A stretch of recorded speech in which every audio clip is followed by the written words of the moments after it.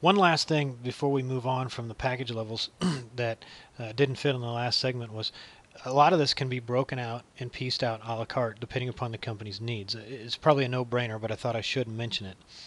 In addition to that, I try to videotape all the lunch and learns so that those can be posted uh, on the um, the website, or we can get I give them hard copies of the DVDs.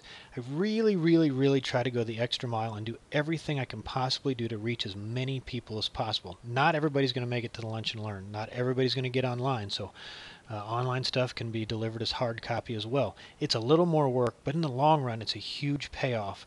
Uh, if you can keep these companies going year after year after year, you can see where it's a great back end income. Um, at 750 a month, you know, if you had shoot, just four of them, there's another $1,500 a month. That's a pretty good little uh, revenue stream, and it's not taking a ton of your time, and it's no more face time really than uh, what you're spending now.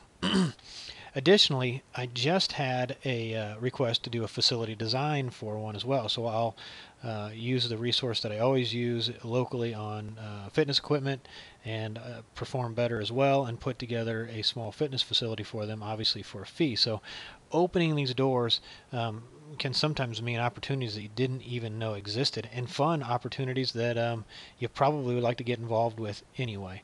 Uh, the last thing uh, that is not on here that you would you should consider doing, and and Scott Colby does a lot of it uh, on, in the private sector, not in corporate wellness, is um, tele- teleconferences.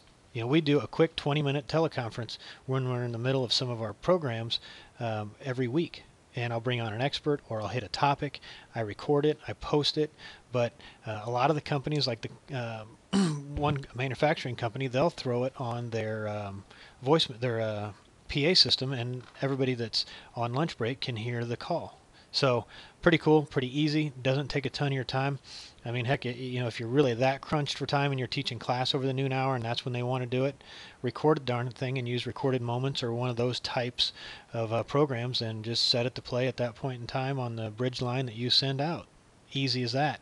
And that takes no extra time.